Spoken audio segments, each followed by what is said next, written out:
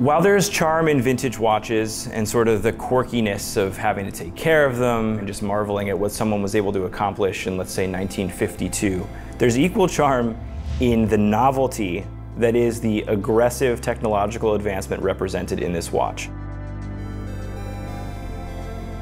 I'm not one who wears smartwatches. I just haven't gotten into it yet, partly out of fear that if I put one on my wrist, I may never put a mechanical watch on again. But luckily for me, there's the next best thing, with the Seiko Astron, it has a ton of legacy in terms of uh, quartz watch history, but today it's about as close to a smartwatch as you're going to get.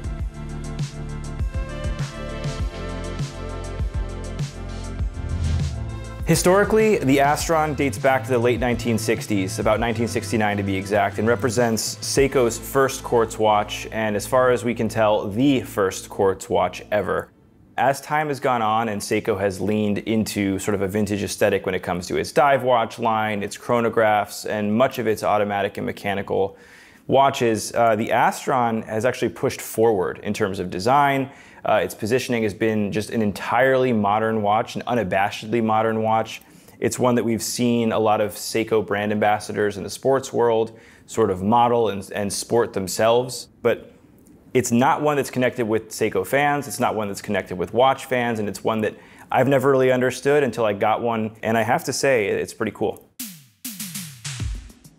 So at first glance, Seiko Astron looks like a conventional modern chronograph, but the subdials are not doing what a typical chronograph would do, and you're really not gonna use this watch to time things.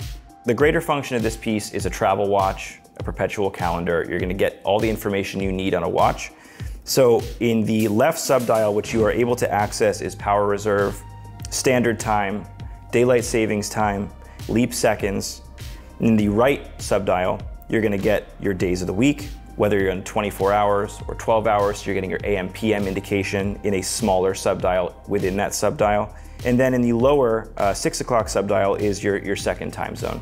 And adding to that is it's a 4.30 date window, but it's still a date window. And I think that in the case of this watch, the 4.30 date window keeps things from being a little too messy. Doesn't get in the way of the subdials. It has a white aperture, so it pops off and you can quickly see the date at a glance.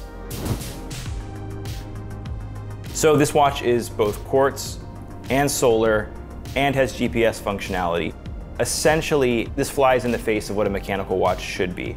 So mechanical watches are all about the mechanics you know, the, the interior. That's why we have exhibition case back so you can marvel at it. But this watch is about technology. When I first got this watch in for review and I opened the box, I realized I didn't know much about the Seiko Astron and I was actually pretty concerned about how I was going to set it. So I opened the box, sunlight floods onto the dial, and suddenly the hands just start going crazy, just spinning around, phantom minute hand, phantom hour hand, phantom date. Uh, and then I started to see that everything that was happening was in the interest of setting the watch perfectly to the second, to the minute, to the hour, to the date, to the time zone. The Seiko Astron will periodically receive signals from satellites. And occasionally I'm wearing this watch and I'm looking down at my wrist and the seconds hand kind of does a weird loop around the dial. And what's happening is it's receiving that signal and making sure that it is aligned perfectly with atomic time. Uh, and being able to catch that moment is about equal to any time that I've seen mechanical watches operate. For example, seeing one tenth of a second on a mechanical chronograph. It's just that quirkiness, whether it's a mechanical feat or a technological feat. They're two different things for sure, but both objects are geared toward telling you the time and telling it to you accurately. And this is just a, a different version of that same idea. What's really neat about this watch too is if you need to set it for whatever reason, if you're trying to set your second time zone, for example, and you use it to actuate the pushers, the time will stop, much like if you pulled the crown out of a mechanical watch. But when you're finished setting it, you'll watch as the second hand goes to catch up with where it should have been when you started at the beginning. So it will go back to the exact second and track accurate time, no matter what you're doing with the watch. So using and utilizing the functions will not interfere with its accuracy. And I find that to be something that shouldn't be understated. And the more and more I look at this watch, I find that it's just putting function over form in every way.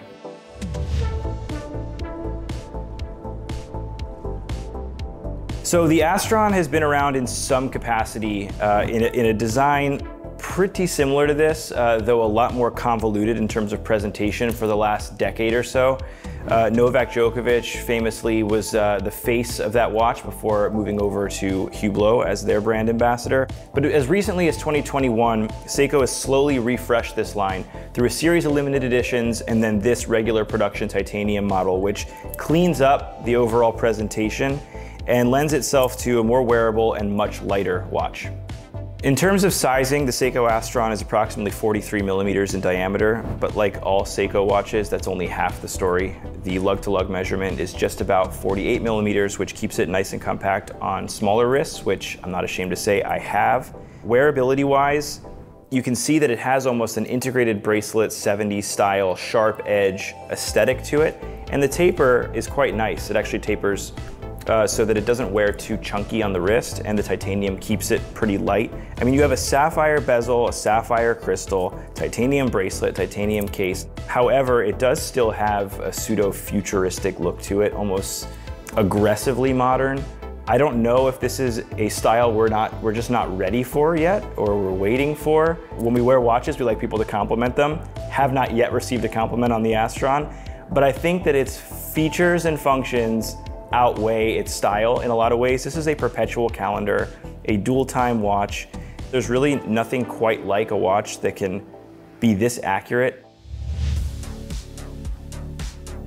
Without making a sweeping generalization about cultures, I, I, do think that there's something to be said about the Japanese sensibility of precision, of making something that just works without having to worry about whether it appeals to the past. But what I, what I personally love about what Seiko and Grand Seiko do is they look to the past with, let's say, case shape. They look to the past with, let's say, general profile of a watch. But they're constantly pushing the boundaries when it comes to dial texture, uh, the artistry that goes into the watches that keep them feeling fresh and not looking to the past too much.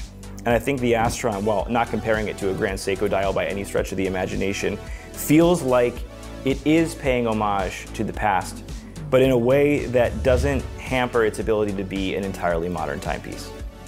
I almost wonder with Seiko, such a vertically integrated organization, you know, and seeing such a wide breadth of design, that the Astron department may not be the guys in the room who are most focused on making a quote unquote sexy watch, Although this watch feels like something that they might think was sexy when they made it.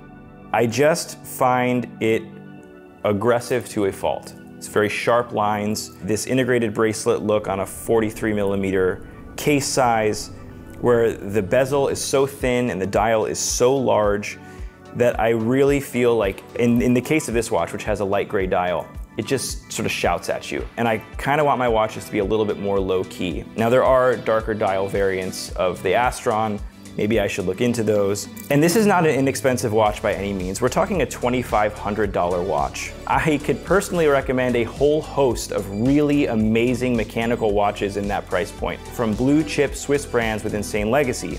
However, if you stack up what those watches can do, you need to be involved in the business of keeping those watches going. Whereas with this, again, not appealing to the enthusiast for a second, this is kind of worth $2,500 if you think about it. It strikes me that having spent some time with this piece that I need to open up my own understanding of what it is that watches can do and what I'm willing to wear. Uh, and the Astron just represents maybe trying something in the watch world. So all I can say after spending time with the Seiko Astron is Whatever watch it is that you may be on the fence about, give it a shot.